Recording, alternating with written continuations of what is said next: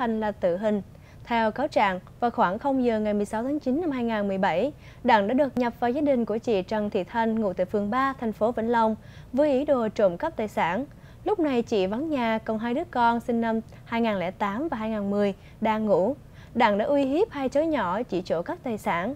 Đặng lấy được một sợi dây chuyền, bốn mặt dây chuyền vàng 18 cây, một laptop, điện thoại di động. Trước khi rời đi, Đặng còn khống chế bé gái 9 tuổi và hiếp dâm đến khi thỏa mãn. Vụ việc đến sáng hôm sau, chị này về nhà mới phát hiện và đưa con đến bệnh viện để điều trị, sau đó